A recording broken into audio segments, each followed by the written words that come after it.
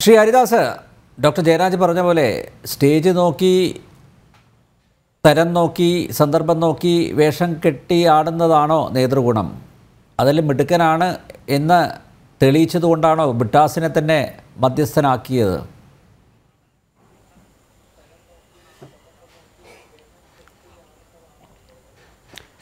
അങ്ങേയറ്റം അപലപനീയമായി പോയി. അദ്ദേഹത്തിന് അത് പറയാനുള്ള സ്വാതന്ത്ര്യത്തിനെ എല്ലാം അതേ നിലയ്ക്ക് നിലനിർത്തിക്കൊണ്ട് തന്നെ ശ്രീ ജയരാജ് ഈ ഇപ്പോഴത്തെ നിങ്ങളുടെ സി പി എം എന്ന് പറയുന്ന നിങ്ങളുടെ അല്ല നമ്മുടെ സി പി എം എന്ന് പറയുന്ന പാർട്ടിയുടെ നേതാക്കന്മാരെ ദൈവത്തിനേക്കാൾ വലിയ പ്രതിച്ഛായ നൽകിയിട്ടാണ് ഈ പാവപ്പെട്ട ആൾക്കാരെ ഈ റേഷനരിക്ക് ഗതിയില്ലാത്തവർ കൊണ്ടു നടക്കുന്നത്. ആ ഒരു സാഹചര്യത്തിൽ താങ്കളെ പോലുള്ള ഒരു ഇടതുപക്ഷത്തിന്റെ മറ്റേ നിരീക്ഷകനായിട്ട് ചാനൽ ചർച്ചയിൽ വന്നിരുന്ന ആൾ കാപഡ്യങ്ങളുടെ വേഷം കെട്ടലാണ് നേതൃത്വം എന്ന് പറയുമ്പോൾ അത് അവരൊക്കെ എത്രത്തോളം അങ്ങേയറ്റം അവർ എത്ര ബുദ്ധിമുട്ടിലായിത്തീരും അവരുടെ മാനസികാവസ്ഥ എന്തായിത്തീരും.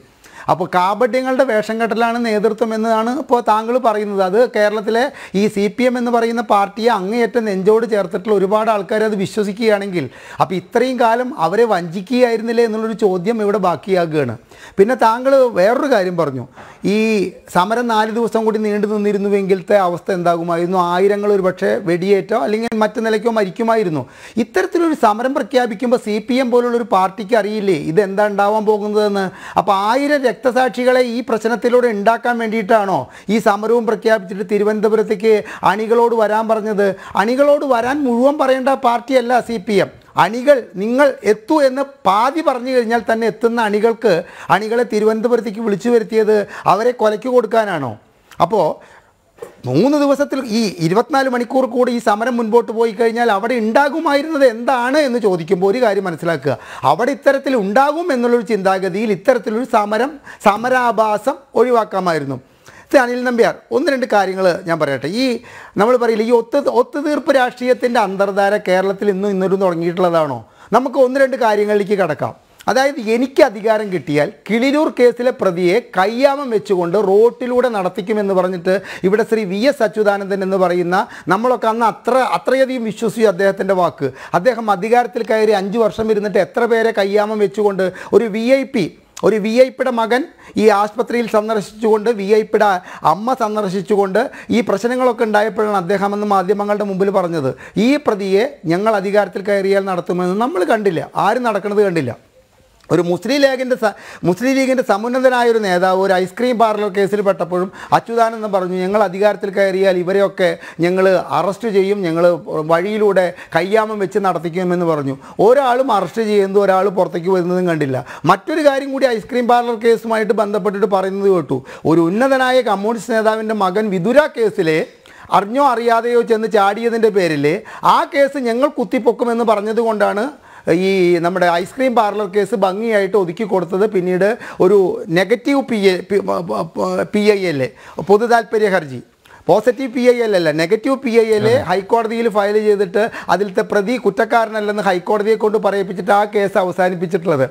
അപ്പോൾ ഇത്തരത്തിലുള്ള ഒത്തുതീർപ്പ് രാഷ്ട്രീയത്തിന്റെ പേരിൽ ഇനിയിപ്പോൾ മറ്റൊരു കാര്യം കൂടി എടുക്കാം. മൂന്നാറിലേക്ക് മൂന്ന് പൂച്ചകളെ പറഞ്ഞയക്കുന്നു. പൂച്ച കറുത്തതായാലും വെളുത്തതായാലും എലിയെ പിടിച്ചാൽ പോരെ എന്ന് ചോദിക്കുന്നു. നമ്മളൊക്കെ വിചാരിച്ചു മൂന്നാറിൽ കൈയേറിയ ഭൂമികളിൽ പത്ത് സെന്റ് ഭൂമി അതിൽ നിന്ന് റിക്കവറി ചെയ്തിട്ടാണോ ആ മൂന്ന് പൂച്ചകളെ അവിടെ നിന്ന് ഇറക്കി കൊടുക്കുന്നത് അന്തർധാര അതിന് ഈ കോൺഗ്രസ്സുകാരുടെ ഏതെങ്കിലും ഒരു നേതാക്കൾ മൂന്നാറിലുള്ളവരോ കേരളത്തിലുള്ളവരോ അതിനെ തുടർന്നിട്ട് ഭരണത്തിലേറിയിട്ട് എന്തെങ്കിലും ഒരു ചെറുവിരൽ ചലിപ്പിച്ചുവോ ഈ വിതുര മറ്റേ കിളിരൂർ കേസിന്റെ കാര്യത്തിൽ ചലിപ്പിച്ചു അപ്പം നമ്മളറിയാത്ത സാധാരണക്കാരറിയാത്ത ഒരുപാട് അന്തർധാര രാഷ്ട്രീയത്തിലുണ്ട്. ആ അന്തർധാരയൊക്കെ കൃത്യമായിട്ട് കളിക്കപ്പെട്ടിട്ടുള്ള ഒരു സ്ഥല ഒരു സംഭവമാണ് ഈ സോളാർ കേസ് എന്നുള്ളത്. അരിഭക്ഷണം കഴിക്കുന്ന എല്ലാവർക്കും നന്നായിട്ട് അറിവുള്ള കാര്യമാണ്. അതിനപ്പുറമുള്ളൊരു വെളിപ്പെടുത്തലൊന്നും ഇപ്പോൾ ശ്രീ ജോൺ മുണ്ടക്കയത്തിന്റെ പുസ്തകത്തിലൂടെ പുറത്തു വന്നു എന്നൊന്നും നമ്മളൊന്നും വിശ്വസിക്കുന്നില്ല. അത് കഴിഞ്ഞു. അടുത്ത പാരവെപ്പിനും അടുത്ത എന്താണ് ആർക്ക് നേരെയാണ് കോൺഗ്രസ്സിൽ പടയൊരുക്കം നടത്തുക എന്നുള്ളതിനെ അറിയാൻ വേണ്ടിയിട്ട് നമുക്ക് യോഗമുണ്ടെങ്കിൽ രണ്ടായിരത്തി ഇരുപത്തി ആറിലെ തെരഞ്ഞെടുപ്പിൽ കോൺഗ്രസ് അധികാരത്തിൽ കയറട്ടെ. പിന്നീട് ഉണ്ടാവാൻ പോകുന്ന സംഗതികളെ കുറിച്ചിട്ട് ഇപ്പം തന്നെ നമ്മുടെയൊക്കെ മനസ്സിലുണ്ട്. എന്താണ് ഉണ്ടാവാൻ പോകുന്നത് എന്നുള്ളത്. അപ്പോൾ കാലഘട്ടം കാല കാലം കൊടുക്കുന്ന മറുപടി കൃത്യമായിട്ട് ഏറ്റുവാങ്ങാൻ വിധിക്കപ്പെട്ടവരാണ് കോൺഗ്രസ്സുകാർ അത് ഒരാളിൽ നിന്ന് ഒരാളുടെ ചുമലിൽ നിന്ന് അടുത്ത അടുത്ത ചുമലിലേക്ക് പോകുമ്പോൾ ഈ ചുമലിലുള്ളവൻ മറ്റുള്ളവനെ കുറ്റം പറയുന്നു എന്നുള്ളതിനപ്പുറം കരുണാകരന് മുമ്പ് കരുണാകരൻ ആർക്കും പാര വെക്കേണ്ടി വന്നിട്ടില്ല. കാരണം കേരള രാഷ്ട്രീയം പിച്ച വെച്ച് നടക്കുന്ന കാലത്ത് അദ്ദേഹം നേതൃത്വ സ്ഥാനത്ത് വന്നതുകൊണ്ട് അദ്ദേഹത്തിന് ഒരാളെ പാര വെച്ചുകൊണ്ടാണ് അദ്ദേഹം ഈ നേതൃത്വ സ്ഥാനത്തേക്ക് വന്നത് എന്ന് പറയാൻ പറ്റില്ല. പക്ഷേ കരുണാകരൻ തൊട്ടിട്ട് ഇപ്പോഴുള്ള ഇപ്പോൾ വി ഡി സതീശനെതിരായിട്ടുള്ള നമ്മൾ പറയില്ലേ അണിയറ പ്രവർത്തനങ്ങളും അതുപോലെ തന്നെ രമേശ് ചെന്നിത്തലയ്ക്കായിട്ടുള്ള എതിരായിട്ടുള്ള അണിയറ പ്രവർത്തനങ്ങളും എല്ലാം തുടങ്ങിക്കഴിഞ്ഞു. ഓരോരുത്തരും ഒതുക്കപ്പെടേണ്ട സമയത്ത് കൃത്യമായിട്ട് ഒതുക്കാനുള്ള കാര്യം കോൺഗ്രസിന് അറിയാം പക്ഷേ അതിൽ ഈ ലൈംഗികാരോപണം വന്നിട്ടുള്ള കാര്യത്തിൽ എനിക്ക് രണ്ട് കാര്യം കൂടിയും പറയാനുണ്ട്. ഈ മുഖ്യമന്ത്രി പിണറായി വിജയന്റെ അതേ പ്രായം തന്നെയാണെന്ന് തോന്നുന്നു ഈ ഉമ്മൻചാണ്ടിക്ക്. ഒരു രണ്ടായിരത്തി ഇരുപത്തിരണ്ടിലെ പത്രസമ്മേളനം ക്ലിഫ് ഹൗസിൽ വെച്ചിട്ടൊരു പത്രസമ്മേളനം. ആ പത്രസമ്മേളനത്തിൽ അദ്ദേഹത്തിനെ ക്ഷുഭിതനാക്കുന്ന വിധത്തിൽ എന്തോ ഒരു പത്രക്കാരൻ ചോദിച്ചപ്പോൾ ഒരു റൂമിലേക്ക് വിരൽ ചൂണ്ടിയിട്ട് ഈ പിണറായി വിജയൻ എന്ന് പറയുന്ന മുഖ്യമന്ത്രി ചോദിച്ചൊരു ചോദ്യം ഇന്നും എന്റെ ചേട്ടിലുണ്ട്. ഇവിടുത്തെ ഈ റൂമിൽ വെച്ച് നടന്ന കാര്യങ്ങളൊക്കെ നിങ്ങൾക്കറിയില്ലേ? ഞാൻ വിളിച്ചു പറയണോ? അപ്പോഴും ഈ സോളാർ കേസിന്റെ ഇത്തരത്തിലുള്ള ഒരു ലൈംഗിക ആരോപണത്തിൽ അദ്ദേഹം വിശ്വസിക്കുന്നു എന്നുള്ളതല്ലേ അനിൽ നമ്പ്യാർ നമ്മൾ മനസ്സിലാക്കേണ്ടത്. അതേസമയത്ത് ഉമ്മൻചാണ്ടി എന്ന് പറയുന്ന മനുഷ്യന്റെ പക്വത മനസ്സിലാക്കേണ്ടത് ബിജു രാധാകൃഷ്ണൻ അദ്ദേഹത്തെ പോയി കാണുകയും അദ്ദേഹത്തോട് കുറേ കാര്യങ്ങൾ വെളിപ്പെടുത്തുകയും ചെയ്തു. ഇപ്പം ഇന്നിപ്പോൾ ജോൺ മുണ്ടക്കയത്തിന്റെ പുസ്തകത്തിലും ആ കാര്യം പറയുന്നുണ്ട്. ആ കാലഘട്ടത്തിലും പറഞ്ഞു കേട്ടിരുന്നതാണ്. കുറേ കാര്യങ്ങൾ ബിജു രാധാകൃഷ്ണൻ വെളിപ്പെടുത്തി. മരണം വരെ ആ വെളിപ്പെടുത്തിയ സംഗതി അദ്ദേഹം പറഞ്ഞില്ല. അതിന്റെ കാര്യമാണ് രസം.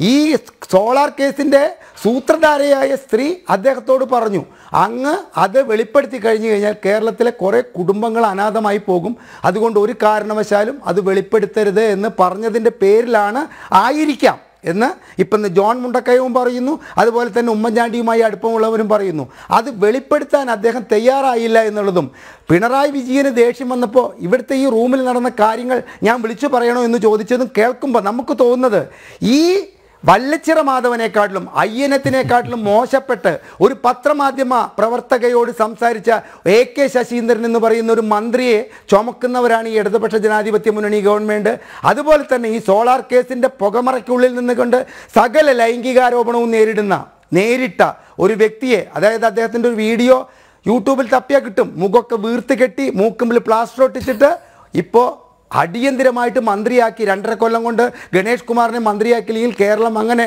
അറബിക്കടലിൽ പോകുമെന്ന നിലയിലേക്ക് അദ്ദേഹത്തെ പിടിച്ച് മന്ത്രിയാക്കിയിരിക്ക ആക്കിയിരിക്കുന്നത് എന്നുള്ളതും നമ്മുടെ കാലഘട്ടത്തിന്റെ വിരോധാഭാസം എന്നല്ലാതെ എന്താണ് പറയുക? ഇപ്പോൾ ഇവിടെ ഈ ചർച്ചയിൽ പങ്കെടുക്കുന്ന ശ്രീ ജയരാജ് ഒരു പക്ഷേ പറയും ആ കേസ് എന്തായി എ കെ ശശീന്ദ്രനെതിരായിട്ട് കേസ് പിൻവലിക്കപ്പെട്ടാലും മകളുടെ മകളാവാൻ പ്രായമുള്ളൊരു പെൺകുട്ടിയോട് ഈ മനുഷ്യൻ പറഞ്ഞ വൃത്തികേടുകൾ കിടക്കുകയല്ലേ? ശ്രീ ജയരാജ് അവിടെ കിടക്കുകയല്ലേ? സാധാരണക്കാരായ ഒരു മനുഷ്യൻ പറയോ? ഒരു പിച്ചക്കാരൻ പറയോ? എന്നിട്ട് രാഷ്ട്രീയ പാരമ്പര്യമുള്ള ഒരു വ്യക്തി പറഞ്ഞ വാക്കുകൾ താങ്കൾ ആ യൂട്യൂബിൽ പരിശോധിച്ചു കഴിഞ്ഞാൽ അത്തരത്തിലുള്ളൊരു വിഷപ്പ് ചുമക്കുന്നവരാണ് ഈ ക്ലിഫ് ഹൗസിന്റെ ഒരു മുറിയിലേക്ക് വിരൽ ചൂണ്ടിക്കൊണ്ട് ഞാൻ അവിടെ നടന്ന കാര്യം പറയണോ എന്ന് ചോദിച്ചത് അങ്ങനെയൊന്നും നടന്നിട്ടില്ലെന്ന് ബഹുമാനപ്പെട്ട ഹൈക്കോടതിയും പറയുന്നു സി ബി ഐയും പറയുന്നു. ഈ ജസ്റ്റിസ് ശിവരാജൻ കമ്മീഷൻ ഇത്രയൊക്കെ മോശപ്പെട്ട നിലയിലെ ഒരു റിപ്പോർട്ട് സമർപ്പിച്ചിട്ട് അതിലും ഈ പാവം അത്തരത്തിലുള്ള ഒരു ലൈംഗികാരോപണങ്ങളും ഈ ഉന്നയിക്കപ്പെടുന്നത് പോലെ നടത്തിയിട്ടില്ല എന്ന് പറയുമ്പോൾ നമ്മുടെ നമ്മൾ ഈ കേരളമുണ്ടല്ലോ ഈ കേരളം ആ മനുഷ്യനോട് അങ്ങേയറ്റം കടപ്പെട്ടിരിക്കുന്നു എന്ന് വേണം പറയാൻ ശ്രീ അനിൽ നമ്പ്യാർ. യെസ് ഡോക്ടർ ജയരാജ് എന്തായാലും സോളാർ ആയുധമാക്കി ആണ് ഇടതുമുന്നണി അധികാരത്തിൽ എത്തുന്നത് അല്ലേ? ആ തെരഞ്ഞെടുപ്പിൽ രണ്ടായിരത്തി പതിനാറിലെ തെരഞ്ഞെടുപ്പിൽ അല്ലേ? അപ്പോ സോളാർ ആയുധമാക്കേണ്ട കാര്യമൊന്നുമില്ല. അത്രയും അഴിമതി കൊണ്ട് അങ്ങ് മുങ്ങിത്ത കഴുത്തപ്പ് മുങ്ങിത്താണ് ആരോപണങ്ങൾ കൊണ്ട് കഴുത്തപ്പ് മുങ്ങിത്താണ് ഒരു ഭരണമായിരുന്നു. ആ കാലഘട്ടം അന്ന് ആ കാലഘട്ടത്തിൽ എന്ത് താങ്കൾ പറഞ്ഞാലും സോളാർ ഒരു ഒരു പ്രധാന ഘടകമായിരുന്നു. ഇടതുമുന്നണിയെ എത്തിച്ചതിൽ സോളാർ വിഷയത്തിന് പ്രത്യേക പങ്കുണ്ട് ഏറെ പ്രസക്തിയുണ്ട്. അത് താങ്കൾ അത് നിഷേധിച്ചാലും ഞാൻ അംഗീകരിക്കില്ല. ഞാൻ പറയാം. ഞാൻ പറയാം. അതിനെക്കുറിച്ച് ഞാൻ പറയാം. ഒന്ന് ഒന്നാമത്തെ പ്രശ്നം എന്ന് പറഞ്ഞു കഴിഞ്ഞാൽ ഈ ഈ ഇതിനെ കുറിച്ച് നമ്മൾ ഈ ഇദ്ദേഹത്തിന്റെ കാര്യം പറയുമ്പോഴേ നമ്മൾ കെ കരുണാകരനെ വിട്ടുകളാം കോൺഗ്രസ് തമ്മിലുള്ള ഗ്രൂപ്പ് വഴക്കിന്റെ കാര്യമാണെന്ന് പറഞ്ഞിട്ട് കെ കരുണാകരന്റെ കാര്യം ഞാൻ പറയുന്നില്ല. പക്ഷെ ഈ നമ്പി നാരായണൻ എന്ന് പറഞ്ഞ മനുഷ്യനോട് ആര് മാപ്പ് പറയും? ഈ നമ്പി നാരായണനെ കുറിച്ച് ഇത്രയധികം വൃത്തികേടുകൾ എഴുതി വെച്ച ഈ വൃത്തികേടുകൾ താങ്കൾ വിശ്വസിക്കുന്നുണ്ടോ? അനിൽ നമ്പി അനിലേട്ടൻ വിശ്വസിക്കുന്നുണ്ടോ അതിനെ കുറിച്ച് അങ്ങനെ എഴുതി വെച്ച ഈ ജോൺ മണ്ടക്ക എന്ന് പറഞ്ഞ ആൾ മനോരമയിൽ സീരിയലൈസ് ചെയ്ത് എഴുതിയത് അനിലേട്ടൻ വിശ്വസിക്കുന്നു അതെ അന്ന് ആവേശത്തോടെ വായിച്ചതാണ്. അന്നത്തെ താങ്കൾ പറഞ്ഞ പോലെ ഈ ട്യൂണയുമായിട്ടുള്ള ഉപമയും മറ്റു കാര്യങ്ങളൊക്കെ. അതായത് കൃത്യമായി കൃത്യമായി മറിയം ഋഷി മറിയ ഋഷീദയുടെ മുറിയിൽ ഇരുന്ന് എഴുതിയ പോലെയായിരുന്നു. അതായത് ലൈവായിട്ട് ഇതൊക്കെ കണ്ട അത് അതേപോലെ പകർത്തി വെച്ച പോലെയായിരുന്നു എഴുതി അതിനോടൊന്നും ഞാൻ യോജിക്കുന്നില്ല ഞാൻ അത് വിശ്വസിച്ചിട്ടുമില്ല. അത് അതുപോലെ തന്നെയാണ് ഈ കേസും. പക്ഷെ അല്ല പക്ഷെ അങ്ങനെ ഒരു താരതമ്യം വേണോ ഡോക്ടർ ജയരാജ്? ഫാക്ട് അല്ല ഇത് ഫിക്ഷൻ ആണ്. അല്ല കാരണം അല്ല അല്ല ഡോക്ടർ ജയരാജ് അന്ന് അന്ന് തന്നെ അന്തരീക്ഷത്തിൽ അന്ന് തന്നെ അന്തരീക്ഷത്തിലുണ്ടായിരുന്നു ഇത്തരത്തിലുള്ള ഒരു ഒത്തുതീർപ്പിനെ തുടർന്നാണ് ആ ചർച്ച അവസാനിച്ചതെന്ന്. മറ്റ് മാർഗങ്ങളൊന്നുമില്ല. മറ്റ് മാർഗങ്ങളിൽ അല്ല സമരം സമരം മുന്നോട്ട് പോയി കഴിഞ്ഞാൽ അത് ഭരണത്തിൽ ഇരിക്കുന്നവർക്ക് അസ്വാരസ്യമുണ്ടാക്കും. മാത്രമല്ല ഇപ്പുറത്തിരിക്കുന്നവർക്കാവട്ടെ ഇടതുമുന്നണിക്കാവട്ടെ ഇത് മുന്നോട്ട് കൊണ്ടുപോകാനും പറ്റില്ല. എങ്ങനെയെങ്കിലും ഒന്ന് അവസാനിപ്പിച്ചാൽ മതി എന്നായി. അപ്പോൾ സ്വാഭാവികമായിട്ടും ഒരു ഒത്തുതീർപ്പ് ചർച്ച നടന്നു. ആ ഒത്തുതീർപ്പ് ചർച്ച നടന്നിട്ടില്ല എന്ന് പറയുമ്പോഴാണ് ഇത് ഇത് വീണ്ടും പിന്നെ ഈ വിഷയം കത്തുന്നത്. വീണ്ടും ചർച്ച ചെയ്യാവുന്നത് അങ്ങനെയാണ്. അപ്പോൾ തുറന്നു പറഞ്ഞാൽ പോരെ. ഇപ്പോൾ അങ്ങനെ ഒരു ചർച്ച നടത്തി. അത് അത് താങ്കൾ നേരത്തെ ചൂണ്ടിക്കാണിച്ചതുപോലെ സംസ്ഥാനത്തിന്റെ ചില താല്പര്യങ്ങളൊക്കെ മുൻനിർത്തിക്കൊണ്ടാണ് അങ്ങനെ ഒരു ഒത്തുതീർപ്പിലെത്തിയത് എന്ന് ഇടതുപക്ഷവും വലതുപക്ഷവും തുറന്നു പറഞ്ഞാൽ അവിടെ തീർന്നില്ലേ പ്രശ്നം. പക്ഷേ ഇപ്പോഴും എന്താ അംഗീകരിക്കാത്തത് എന്താണ്? അങ്ങനെ ഒന്നും നടന്നിട്ടില്ല എന്ന് പറയുന്നത് എന്തിനാണ്? അങ്ങനെ ആവർത്തിക്കുന്നത് എന്തിനാണ്? അതിനു മുമ്പ് എനിക്ക് അഡ്വക്കേറ്റ് പി എം നിയാസ് പറഞ്ഞ കുറച്ച് കാര്യങ്ങൾക്ക് മറുപടി. പ്ലീസ് ഒന്നാമത് ഈ ഒരു കേസ് കൊണ്ടുവന്നത് ഈ ഹേമേന്ദ്രൻ എന്ന് പറയുന്ന ഡി ജി പി ആയിരുന്ന ആ മനുഷ്യൻ അറസ്റ്റ് ചെയ്യുന്നത് ആദ്യത്തെ അറസ്റ്റ് നടക്കുന്നത് ഉമ്മൻചാണ്ടി സ്ഥലത്തില്ലാത്ത സമയത്താണ്. ഇതേതെങ്കിലും ഇടതുപക്ഷത്തിന്റെ ആരോപണം കൊണ്ടാണോ ആദ്യത്തെ അറസ്റ്റ് നടക്കുന്നത്? ഇടതുപക്ഷക്കാരാരെങ്കിലും ആണോ ഈ ആരോപണം പുറത്തേക്ക് കൊണ്ടുവരുന്നത്? ഇടതുപക്ഷക്കാർ ആരെങ്കിലും അതിന് ഭാഗഭാക്കായിരുന്നോ? ഉമ്മൻചാണ്ടി തന്നെ നിയമിച്ച ഉമ്മൻചാണ്ടിയുടെ പോലീസ് ചീഫായിട്ടുള്ള തിരുവഞ്ചൂർ രാധാകൃഷ്ണൻ അറിയാതെ അവിടെ നിന്നൊരു അറസ്റ്റ് നടക്കുമോ ഒന്നാമത്തെ ചോദ്യം. അതിനെ തുടർന്നാണെന്നുള്ള ഈ സംഭവങ്ങളുടെ പരമ്പര. പിന്നീട് ടി വി ചാനലിലൊക്കെ വന്നിട്ടുണ്ട് അല്ല ഡോക്ടർ ജയരാജ് അപ്പോൾ ഒരു കാര്യം വ്യക്തമായല്ലോ. ഇപ്പോൾ പോലീസിനെ നിയന്ത്രിക്കുന്നത് അല്ലെങ്കിൽ പോലീസിനെ ചട്ടുകമാക്കുന്നത് പാർട്ടിയാണ് പിണറായിയാണ്. അയാളുടെ താല്പര്യങ്ങൾക്ക് വേണ്ടി പോലീസിനെ ഉപയോഗിക്കുന്നു. അങ്ങനെയാണല്ലോ വലിയ ആക്ഷേപം. നിങ്ങൾ നോക്കൂ ഉമ്മൻചാണ്ടിയുടെ സന്തത സഹചാരിയായിരുന്ന ഒരാളെയാണ് അറസ്റ്റ് ചെയ്തത്. അപ്പം നോക്കൂ അതിലൊന്നും യാതൊരു തരത്തിലുള്ള ഇടപെടലും ഉണ്ടായില്ല. മുഖ്യമന്ത്രി തലത്തിൽ ഒരു ഇടപെടലും ഉണ്ടായിട്ടില്ല. വളരെ സുതാര്യമായിട്ട് അന്വേഷണം നടന്നു എന്നല്ലേ? മനസ്സിലാക്കേണ്ടത്. അതിനെ അംഗീകരിക്കല്ലേ വേണ്ടത്? അത് കോൺഗ്രസ് ആയതുകൊണ്ട് കോൺഗ്രസിനകത്ത് ഇപ്പൊ തിരുവഞ്ചൂരും ഉമ്മൻചാണ്ടിയും തമ്മിൽ ഇടയ്ക്ക് വെച്ച് തിരുവഞ്ചൂർ എന്ന് മുഖ്യമന്ത്രി ആവാൻ ശ്രമിച്ചു. ഞാൻ നേരത്തെ പറഞ്ഞല്ലോ അത്. ആ ഒരു വിഷയം. ആ ഒരു വിഷയം ഞാൻ എക്സ്പ്ലെയിൻ ചെയ്തതാണ്. നേരത്തെ തിരുവഞ്ചൂർ നിന്ന് മുഖ്യമന്ത്രി ആവാൻ ഒരു ശ്രമം നടത്തി ഉമ്മൻചാണ്ടി ഇവിടെ ഇല്ലായിരുന്ന സമയത്ത്. അവിടെ നിന്നാണ് ഇതിന്റെ എല്ലാം പ്രഭവ കേന്ദ്രം എന്ന് പറയുന്നത്. അവിടെ നിന്നാണ് പിന്നീടുണ്ടാവുന്ന തുടർച്ചകളുടെ എല്ലാം പിന്നീടുണ്ടാകുന്ന ഹോൾ സ്റ്റോറി അവിടെ നിന്നാണ് സ്റ്റാർട്ട് ചെയ്യുന്നത്.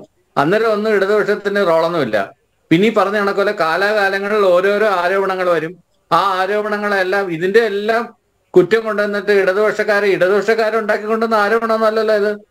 ഇടതുപക്ഷക്കാരുണ്ടാക്കിയ ആരോപണമാണോ? അങ്ങനെ തോന്നുമല്ലോ ഇത് പറയുന്നത് കേട്ട് കഴിഞ്ഞാൽ.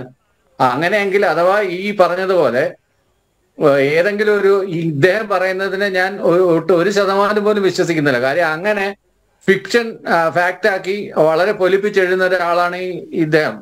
ഈ ജോൺ മുണ്ടക്ക എന്ന് പറഞ്ഞ ഒരാൾ അദ്ദേഹം ഇപ്പൊ എഴുതുന്ന ഈ ഒരു സംഭവത്തിനകത്തൊന്നും നമ്മൾ അത്ര അദ്ദേഹത്തിന് ചിലപ്പോൾ ഈ പുസ്തക ആളുകൾ കൂടുതൽ വാങ്ങിക്കണമെന്നോ വായിക്കണമെന്നോ ഉള്ള താല്പര്യമുള്ള കള്ളന്റെ ആത്മകഥയും കൂടുതൽ വിറ്റതാണല്ലോ അവിടെ. അതുപോലെ തന്നെ നളിനി ജമീലയുടെ കഥയും ഒക്കെ വളരെയധികം വിറ്റുപോയ പുസ്തകങ്ങളാണ്. ആ കൂട്ടത്തിലൊരു പുസ്തകം ഇതും ആവും അല്ലാതെ ഇതൊക്കെ റഫറൻസ് ഗ്രന്ഥമോ? റഫറൻസ് ഗ്രന്ഥമല്ല? ഇതൊക്കെ എടുത്ത് ചവിട്ടിയൊട്ടയിലിടും ഇതിനെയൊക്കെ ആര് റഫറൻസ് ഗ്രന്ഥമായിട്ട് എടുക്കും? റഫറൻസ് ഗ്രന്ഥമായിട്ട് എടുക്കണേ കേരള രാഷ്ട്രീയ ചരിത്രത്തിനെ കുറിച്ച് ചെറിയ ഫിലിപ്പ് എഴുതിയൊരു പുസ്തകമുണ്ട്. അതിപ്പോഴും ആധികാരിക റഫറൻസ് ഗ്രന്ഥം തന്നെയാണ്. ചരിത്ര വിദ്യാർത്ഥികൾ ഉപയോഗിക്കുന്നതിനാണ് കൃത്യമായിട്ടുള്ള ഫാക്ട് കൃത്യമായിട്ടുള്ള ഡേറ്റ്സ് എല്ലാം ഉൾപ്പെട്ടിട്ടുള്ള സാധനമാണ്. അതിനെയാണ് റഫറൻസ് ഗ്രന്ഥം എന്ന് വിളിക്കുന്നത്. അല്ലാതെ ആരെങ്കിലും ഒരു പുസ്തകത്തിനകത്ത് എന്തെങ്കിലും കള്ളക്കഥകൾ എഴുതി പിടിപ്പിച്ചാൽ നാളെ ചരിത്രമാവും. ഒരിക്കലും ചരിത്രമാവില്ല. എന്തിനു വേണ്ടിയിട്ടാണ് എഴുതിയെന്ന് അന്നും ആളുകൾ പറയും. ഇതിനൊക്കെ അതിന്റെതായ സ്ഥാനമുണ്ട്. ഇതാരാണ് എഴുതുന്നത്? എങ്ങനെയാണ് എഴുതുന്നത്? എവിടുന്നാണ് ഇതിന്റെ സൈറ്റേഷൻ ഇതിന്റെ റെഫറൻസ് എവിടുന്നാണ് എടുത്തിരിക്കുന്നത്? ഇതെല്ലാം നോക്കിയിട്ടാണ് ആളുകൾ അതിനെ കാണുന്നത്. ഓക്കെ. അപ്പൊ ഇങ്ങനെയാണ് അതിനെ നോക്കേണ്ടുന്നത്. Advocate Niyas. Doctor doctor Jayaraj രണ്ട് തവണ അദ്ദേഹം ആവർത്തിച്ചു. അതായത് തിരുവഞ്ചൂർ രാധാകൃഷ്ണൻ മുഖ്യമന്ത്രിയാവാൻ ശ്രമിച്ചു എന്ന ആരോപണം. മറ്റൊരു കാര്യം കൂടി എനിക്കറിയാനുള്ളത്. അതായത് ഈ ഒത്തുതീർപ്പ് വ്യവസ്ഥകളിൽ ഒന്ന് ടി പി ചന്ദ്രശേഖരൻ കൊലക്കേസിന്റെ അന്വേഷണം. അത് മോഹന് അപ്പുറത്തേക്ക് പോകരുത്. പി മോഹന് അപ്പുറത്തേക്ക് പോകരുത്. അങ്ങനെ ഒരു ഒരു കരാറ് കൂടി ഒത്തുതീർപ്പ് ചർച്ചയുടെ ഭാഗമായി ഉണ്ടാക്കി എന്ന ഒരു ആക്ഷേപവും അന്ന് ഉയർന്നിരുന്നു. ഇപ്പോഴും അത് സജീവമായി നിൽക്കുകയാണ്. ഇന്ന് ജോൺ മുണ്ടക്കയത്തോട് അത് അത് ചോദിച്ചപ്പോ ചോദിച്ചപ്പോൾ അല്ല അതിന്റെ തെളിവൊന്നും എന്ന് തെളിവൊന്നും തന്റെ പക്കലില്ല എന്ന് പറഞ്ഞൊഴിയുകയാണ് അദ്ദേഹം ചെയ്തത്. ഇപ്പൊ ഈ രണ്ട് ആക്ഷേപം ഇപ്പോഴും നിപ്പുണ്ട് നോക്കൂ അനിൽ തമ്പിയാർ എനിക്ക് അറിഞ്ഞുകൂടാ ജയരാജന് എന്താ പറ്റിയെന്ന്. ജയരാജ ജയരാജന്റെ പാർട്ടിയിൽ പോലും ഒരാൾ ഒരാൾ മുഖ്യമന്ത്രി ആവണമെന്ന് വിചാരിച്ചാൽ നടക്കുന്ന കാര്യമാണോ? ഇല്ലല്ലോ. ഞങ്ങളുടെ പാർട്ടി അഖിലേന്ത്യാ പാർട്ടിയാണ്. അങ്ങനെ പോലെ കേരളം മാത്രമുള്ള അഖിലേന്ത്യാ പാർട്ടിയല്ല. അപ്പൊ ഞങ്ങളുടെ പാർട്ടിയിൽ ഒരാൾ മുഖ്യമന്ത്രിയെ മാറ്റി മറ്റൊരാളാവണമെന്ന് ഒരാൾ യാത്ര വിചാരിച്ചുകൊണ്ട് ഒരു കാര്യമില്ല അപ്പൊ അത് അങ്ങനത്തെ ഒരു കാര്യം ജയരാജൻ എത്ര തവണ ആവർത്തിച്ചാലും ഞാനത് അവജ്ഞയോട് തള്ളിക്കളഞ്ഞതാണ്. പിന്നെ അനിൽകുമാർ വീണ്ടും പറഞ്ഞു ഉമ്മൻചാണ്ടി ആയാലോ അത് ഇവിടെ തീരുമാനിച്ചല്ലേ ഒരു മിനിറ്റ്. അങ്ങ് അങ്ങ് അങ്ങനെയൊക്കെ ഞങ്ങൾ മുഖ്യമ മുഖ്യമന്ത്രി ഒരിക്കൽ ഒരു പത്രത്തിൽ പത്രക്കാരോട് പറഞ്ഞിട്ടുണ്ട്. ഞങ്ങളെ പാർട്ടിയെ കുറിച്ച് നിങ്ങൾക്ക് ഒരു ചുക്കും അറിയില്ല. അത് മുഖ്യമന്ത്രി ആവർ മുഖ്യമന്ത്രി അല്ല അന്ന് അദ്ദേഹം പാർട്ടി സെക്രട്ടറി ആയിരുന്നു. അപ്പൊ അതുകൊണ്ട് അതേ ആ വാക്ക് ഞാൻ ആവർത്തിക്കുകയാണ്. പ്രിയപ്പെട്ട ജരാജ നിങ്ങൾക്ക് ഞങ്ങളെ പാർട്ടിയെ കുറിച്ച് ഒരു ചുക്കും അറിയും അതുകൊണ്ടാണ് അങ്ങ് ഇത്തരം കാര്യങ്ങൾ പറഞ്ഞുകൊണ്ടിരിക്കുകയാണ്. ഞങ്ങളെ സംബന്ധിച്ച് ഞങ്ങൾക്ക് ഒരു സിസ്റ്റം ഉണ്ട്. ആ സിസ്റ്റം പ്രകാരമാണ് അഖിലേന്ത്യാ അത് ബി ജെ പിയിലും അങ്ങനെയാണ്. ബി ജെ പിയിൽ യു പിയിൽ യു പിയിൽ ഒരു ഒരാൾ വന്ന് വിചാരിച്ചാൽ യു പിയിലെ യോഗി ആദിത്യനാഥിനെ മാറ്റാൻ പറ്റൂ അവർ ആ സിസ്റ്റം ഉണ്ട്. ആ സിസ്റ്റം പ്രകാരമേ പോവുള്ളൂ. ഇവിടെ അതൊക്കെ നിങ്ങൾ കെട്ടുകറിയാണ് ഇപ്പൊ ഉമ്മൻചാണ്ടി അന്ന് മാറിയാലും അന്ന് ഇനിയിപ്പോ അതാ മാറിയാൽ പോലും അന്ന് ഒരിക്കലും തിരുവഞ്ചൂരാവുന്ന സാഹചര്യം ഉണ്ടാവില്ല അന്ന് അതിന്റെ സാഹചര്യം അനുസരിച്ച് വേറെ സംവിധാനങ്ങളാണ് വരിക. പക്ഷെ അങ്ങനെ ഉമ്മൻചാണ്ടിയെ മാറ്റുന്ന തീരുമാനം ഉമ്മൻചാണ്ടി തന്നെ നേരിട്ട് എ ഐ സി സി പ്രസിഡന്റിനോട് ഞാൻ മനസ്സിലാക്കിയാണ്. മുമ്പ് രണ്ട് തവണ അവർ പറഞ്ഞു ഞാൻ എന്നെ ഒന്ന് മാറ്റിത്തരണം ഞാൻ ഇത് മാറാം. എന്ന് പറഞ്ഞപ്പോ അന്നത്തെ കോൺഗ്രസിന്റെ പ്രസിഡന്റ് സോണിയാഗാന്ധി അടക്കമുള്ള ആളുകൾ ഞങ്ങൾക്കറിയാം ഇതൊരു സത്യത്തിന്റെ ഒരു കണിക പോലും ഇല്ല അതുകൊണ്ട് അങ്ങ് തുടരണമെന്നാണ് ഞങ്ങളുടെ നിലപാട് എന്ന് പറഞ്ഞു എന്നാണ് ഞാൻ മനസ്സിലാക്കിയിട്ടുള്ളത്. അത് അദ്ദേഹം അദ്ദേഹത്തിന്റെ തന്നെ- രീതിയിൽ പല രീതിയിലും അത് റിപ്പോർട്ട് ചെയ്യപ്പെട്ടിട്ടുണ്ട്. ഇപ്പൊ ഞങ്ങളെ സംബന്ധിച്ച് രണ്ടാമത് ഏ? അദ്ദേഹം ജലജ ഞാൻ അത്ര കാര്യങ്ങളൊന്നും ചോദിക്കട്ടെ അദ്ദേഹത്തിന് ഒരു മാന്യത നിങ്ങൾ ചോദിച്ചത് അദ്ദേഹം നിങ്ങളുടെ മുന്നണിയിൽ ഉള്ള ഒരു ഒരു മന്ത്രിയെ കുറിച്ചും മന്ത്രിയുടെ പിതാവിനെ കുറിച്ചും ഒക്കെ പറഞ്ഞ കാര്യങ്ങൾ പോലും മരിക്കുന്ന ആ സമയത്ത് പോലും അദ്ദേഹം അത് പുറത്ത് പറഞ്ഞില്ലല്ലോ. മരിക്കുന്ന തൊട്ടു മുമ്പ് പോലും അദ്ദേഹത്തിന് അവസരം ഉണ്ടായിരുന്നല്ലോ ആ മാന്യത അങ്ങ് മനസ്സിലാക്കണം. പക്ഷെ ഇപ്പോഴും ഞാൻ പറയാം അദ്ദേഹം പല കാര്യങ്ങളും അദ്ദേഹത്തിന് അനുകൂലമായി പി ആർ വർക്ക് നടത്തിയിട്ടല്ല. അയാൾ മുഖ്യമന്ത്രിയായത്. അദ്ദേഹത്തിന്റെ മകൻ എം എൽ എ ആയതും രാഷ്ട്രീയത്തിലേക്ക് വന്നതും പി ആർ വർക്ക് നടത്തിയിട്ടില്ല. നിങ്ങളെ മരുമക്കനും നിങ്ങളെ മകളും മാസപ്പടി വാങ്ങും പോലെ അവരാരും മാസപ്പടി വാങ്ങിയിട്ടില്ല. അദ്ദേഹത്തിന്റെ ഒരു മാന്യത നിങ്ങൾ മനസ്സിലാക്കണം. മരിച്ച മരിച്ചു കഴിഞ്ഞാലെങ്കിലും അദ്ദേഹത്തിന്റെ കാര്യങ്ങൾ ബോധിപ്പിക്കും രണ്ടാമത് പറഞ്ഞത് ഒത്തുതീർപ്പ് വ്യവസ്ഥ. ഇത് പൊന്ന് പിന്നെ നമ്മുടെ അനിൽ നമ്പ്യാരെ എന്തായിരുന്നറിയോ എങ്ങനെയെങ്കിലും ഒന്ന് ഞങ്ങൾ രക്ഷിക്കണം? അങ്ങ് നേരത്തെ പ്രഖ്യാപിച്ച ജുഡീഷ്യൽ അന്വേഷണം. അതൊന്ന് ഞങ്ങൾക്ക് എഴുതി തരണം. ഞങ്ങൾ എഴുന്നേറ്റ് പൊയ്ക്കോളാം. എന്ന് പറഞ്ഞ് കാലിൽ തൊട്ട് സാഷ്ടാംഗ പ്രണാമം നടത്തുകയായിരുന്നു. അതായത് ഇതൊരു ഒരു കൊടുക്കൽ വാങ്ങലല്ല. ഇതെങ്ങനെയെങ്കിലും അങ്ങ് നേരത്തെ ഞങ്ങളോട് പറഞ്ഞപ്പം ഞങ്ങൾ വേണ്ട എന്ന് പറഞ്ഞ് ഞങ്ങൾ തിരസ്കരിച്ചതാണ് ഈ ഈ ജുഡീഷ്യൽ അന്വേഷണം. അതുകൊണ്ട് അതൊന്ന് പ്രഖ്യാപിച്ചു തരണം. അതാണ് അദ്ദേഹം പറഞ്ഞത്. ആ ഒത്തുതീർപ്പ് വ്യവസ്ഥ. അത് ആവർത്തിച്ച് തിരഞ്ഞെടുപ്പ് പറഞ്ഞു. അത് ആവർത്തിച്ച് മറ്റു പല നേതാക്കന്മാരും പറഞ്ഞു. അങ്ങനെയാണ് ഇവിടെ ഉണ്ടായിട്ടുള്ളത്. ഞങ്ങൾ നിഷേധിക്കുന്നില്ല. അത് ഞങ്ങളൊരു ഭരണ കേന്ദ്രത്തിനെതിരെ ഇതുപോലെ ഒരു സമരം വരുന്നു വിചാരിക്കുക ആ സമരം ഒത്തുതീർക്കാൻ വേണ്ടി ഒരു ചർച്ചയ്ക്ക് മുന്നോട്ട് വരികയാണെങ്കിൽ അത് ചർച്ച ചെയ്ത് പരിഹരിക്കാൻ ഏത് ഗവൺമെന്റും തയ്യാറാവില്ലേ? ആ നിലയ്ക്ക് ഞങ്ങൾ ചെയ്തിട്ടുണ്ട് അല്ലാതെ ഞങ്ങളുടെ കാലിൽ തൊട്ട് സാഷ്ടാംഗം പറഞ്ഞിട്ട് ഞങ്ങൾക്ക് എങ്ങനെ നിങ്ങൾ തടി വീണമെന്ന് പറഞ്ഞപ്പോൾ ഞങ്ങൾ രക്ഷിച്ചിട്ടുണ്ട്. പിന്നെ മോഹനമാക്ഷ കേസ്. അത് ഞങ്ങൾക്ക് എല്ലാവർക്കും അറിയാം. അന്ന് ഞങ്ങൾ ഈ ഗൂഢാലോചനയുമായി ബന്ധപ്പെട്ട് അന്വേഷണം നടത്തണമെന്ന് പറഞ്ഞു. നിങ്ങൾ അറിയുമോ എന്ന് അറിഞ്ഞുകൂടാ അങ്ങേക്ക് അറിയാമായിരിക്കും ഈ മോഹനൻ മാഷെ അറസ്റ്റ് ചെയ്തു. മോഹനൻ മാഷെ അറസ്റ്റ് ചെയ്ത് മോഹനൻ മാഷെ ചോദ്യം ചെയ്യാൻ വേണ്ടി കസ്റ്റഡിയിൽ എടുത്തു അദ്ദേഹത്തെ ചോദ്യം ചെയ്തുകൊണ്ടിരിക്കുമ്പോൾ എളമര കരീം ഉൾപ്പെടെയുള്ള യു എൽ ഡി എഫിന്റെ നേതാക്കന്മാർ ആ അന്വേഷണത്തിൽ ഇടപെടുകയും അവരെ കാണണമെന്ന് നിർബന്ധം പറയുകയും അവരെ കണ്ട് ആ- ആ- കണ്ട് അവരെ കൊണ്ട് അല്ലെങ്കിൽ മോഹനമാക്ഷിക്ക് ധൈര്യം കൊടുത്ത് പറയരുത് എന്ന് പറഞ്ഞ് അങ്ങ് ബോധ്യപ്പെടുത്തിയിട്ടില്ലായിരുന്നുവെങ്കിൽ ഇന്ന് മോഹനമാക്ഷിക്ക് പിറകിലുള്ള അത് പിണറായി വിജയനാണെങ്കിലും അതിലപ്പുറത്തുള്ളവരാണെങ്കിലും അവരെയൊക്കെ കൊണ്ടുവരാൻ പറ്റുമായിരുന്നു. അന്ന് ഞങ്ങൾ പറഞ്ഞു പക്ഷെ ഞങ്ങൾ ജനാധിപത്യ മര്യാദയുള്ളവരാണ്. അതുകൊണ്ടാണ് ഞങ്ങൾക്ക് വേണമെങ്കിൽ പറയാം ഇവരെ കാണാൻ പറ്റില്ല എന്ന് പറയാം. പക്ഷേ ഒരു ഒരു പാർട്ടി സെക്രട്ടറി കാണാൻ കാണാൻ വേണ്ടി കേരളത്തിലെ മുൻ ആഭ്യന്തരമന്ത്രി ഉൾപ്പെടെയുള്ള അല്ലെങ്കിൽ മുൻ വ്യവസായ മന്ത്രി ഉൾപ്പെടെയുള്ള എം എൽ എമാർ വരുമ്പോ ഞങ്ങൾ കാണണ്ട നിങ്ങൾ പറഞ്ഞില്ല. ഞങ്ങൾക്കിതിൽ ഒളിച്ചു വെക്കാനോ മറച്ചു വെക്കാനോ കെട്ടിച്ചമക്കാനോ ഒന്നുമില്ലാത്തത് കൊണ്ട് ഞങ്ങൾ അത് കണ്ടു. അങ്ങനെ ഒരു സംഭവം ഉണ്ടായിരുന്നില്ല എങ്കിൽ മോനമാറ്റ നാവിൽ നിന്ന് തന്നെ ഇതെല്ലാം തെളിവുകൾ സഹിതം വരുമായിരുന്നു അറസ്റ്റ് ചെയ്യുമായിരുന്നു. അങ്ങനെ ഒരു വീഴ്ച ജനാധിപത്യത്തിന്റെ പേരിൽ പ്രതിപക്ഷ ബഹുമാനത്തിന്റെ പേരിൽ ഞങ്ങൾക്ക് സംഭവിച്ചിട്ടുണ്ട്. ഇപ്പോഴും ഞങ്ങൾ കേരളത്തിലെ നിയമ കേരളത്തിലെ ഹൈക്കോടതിയുടെ വിധിയുടെ അടിസ്ഥാനത്തിൽ ഞങ്ങൾ ഇപ്പോഴും ആ ആ ഗൂഢാലോചന ഭാഗം അന്വേഷിക്കണമെന്ന് ഞങ്ങൾ ആവശ്യപ്പെട്ടിട്ടുണ്ട്. പ്രിയപ്പെട്ട രമയുടെ പരാ രമയുടെ ആപേക്ഷയിൽ അപേക്ഷയിൽ ഞങ്ങളും പിന്തുണ നൽകിയിട്ടുണ്ട്. ഞാൻ ഇക്കാര്യം നിയമസഭയിലും പറഞ്ഞിട്ടുണ്ട്. ഇതാണ് എനിക്ക് പറയാനുള്ളത്. പിന്നെ ഒരു കാര്യം എനിക്ക് ജയരാജനോട് പറയാനുള്ളത്. ജയരാജൻ അത് ഞാൻ നേരത്തെ ഞാൻ മറുപടി പറയാം. ജയരാജൻ പറഞ്ഞു രാഷ്ട്രീയ നേതാക്കന്മാരെന്ന് പറഞ്ഞാൽ കള്ളത്തരവും കൊള്ളത്തരവും ഒക്കെ കാണിച്ചു മുന്നോട്ട് പോവാം. അത് നിങ്ങളുടെ പോലെ ആയിരിക്കും ഞങ്ങൾക്ക് അങ്ങനെയല്ല. ഉമ്മൻചാണ്ടി ജീവിതം അങ്ങനെയാണ് ആ ഡെഫിനിഷൻ ഡെഫിനിഷൻ ഏത് ബുക്കിലാണ് ഉള്ളത്? നേതൃ നേതൃത്വത്തെ കുറിച്ചുള്ള ആ ഡെഫിനിഷൻ ഏത് ബുക്കിലാണെന്ന് പറഞ്ഞു തന്നു കഴിഞ്ഞാൽ ഉപകാരം. ഞാനത്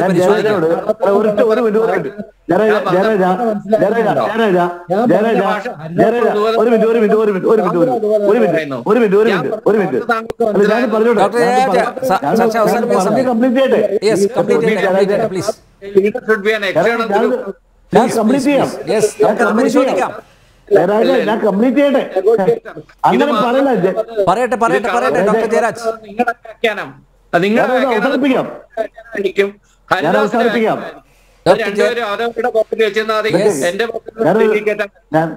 നിങ്ങൾ ഞങ്ങൾ ഞങ്ങൾ ജനാധിപത്യ ഞങ്ങൾ ജനാധിപത്യ രീതിയിൽ ഗാന്ധിജിയുടെ പാർട്ടി എന്ന് അറിയപ്പെടുന്ന ഒരു പാർട്ടിയാണ് ജവഹർലാൽ നെഹ്റുവിന്റെ ജനാധിപത്യ രീതിയിലാണ് ഞങ്ങൾ മുന്നോട്ട് പോകുന്നത്. ഞങ്ങളുടെ ഒരു ഇസത്തിലും ഞങ്ങളുടെ രാഷ്ട്രീയ പാടവത്തിലും ഞങ്ങളുടെ ഞങ്ങളുടെ പഠി പഠി ഞങ്ങൾ അനുവർത്തിക്കുന്ന രീതിയിലൊന്നും ഇപ്പോ ജയരാജ് പറഞ്ഞിരിക്കുന്ന രീതിയിലുള്ള രാഷ്ട്രീയ പ്രവർത്തനമല്ല ഞങ്ങൾ ചെയ്യുന്നതെന്ന് ഞാൻ പറയുന്നത് ഒരു പക്ഷേ അങ്ങയുടെ പാർട്ടി അതായത് സി പി എം പാർട്ടി അങ്ങനെ ആയിരിക്കും ഹരിദാസ് പറഞ്ഞിട്ടുണ്ട്. അത് അത് അംഗീകരിക്കുന്നില്ല എന്ന് ഹരിദാസ് പറഞ്ഞിട്ടുണ്ട്. അതുകൊണ്ട് ബി ജെ പിക്ക് അങ്ങനെ ഒരു തീരുമാനമുണ്ടെന്ന് എനിക്ക് തോന്നുന്നില്ല. പക്ഷെ ഞങ്ങൾക്ക് നേരും നെറിയുമാണ്. കെ കരുണാകരനെ ഒരുപാട് ഒരുപാട് ഒരുപാട് കെ കരുണാകരനെതിരെ പറഞ്ഞു. അതും തെളിവില്ലാത്ത കാര്യമാണെന്ന് പറഞ്ഞു ചാരക്കേസ് വന്നു. പാമോയിൽ കേസ് വന്നു.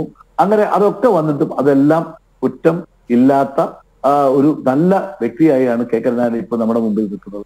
ഉമ്മൻചാണ്ടിയും അങ്ങനെയാണ് നിൽക്കുന്നത്. ഇപ്പോ നിങ്ങൾ കേരളത്തിലെ പ്രതിപക്ഷ നേതാവിനെയും കേരളത്തിലെ മറ്റ് നേതാക്കന്മാർക്കെതിരെയും ഒക്കെ ഇതുപോലെ വിജിലൻസ് കേസും സി ബി ഐ കേസും ഒക്കെ ഉരുക്കൂട്ടി കൊണ്ടുവരുന്നുണ്ട്. ഞങ്ങൾ മുഖ്യമന്ത്രി പറയുന്ന ഒരു വാചകം ഞാൻ കടമെടുക്കുകയാണ്. മടി മടി മടിശീലയിൽ കനമില്ലാത്തവന് പേടിക്കാനില്ല എന്ന് മുഖ്യമന്ത്രി എപ്പോഴും പറയാറുണ്ട്. പക്ഷേ മുഖ്യമന്ത്രിയുടെ മകളുടെ മടിശീലയിൽ അങ്ങ് ഒരുപാട് മാസപ്പടിയും ഡോളർ കടത്തും അതുപോലെ തന്നെ പിന്നെ. സ്വർണക്കടത്തും ഒക്കെ ഉണ്ട്. അതുകൊണ്ട് ഞങ്ങൾക്ക് അതൊന്നും ഇല്ലാത്തതുകൊണ്ട് ഞങ്ങൾക്ക് പേടിയില്ല. അന്വേഷണം നടത്താൻ ഞങ്ങൾ തയ്യാറായിട്ടുണ്ട്.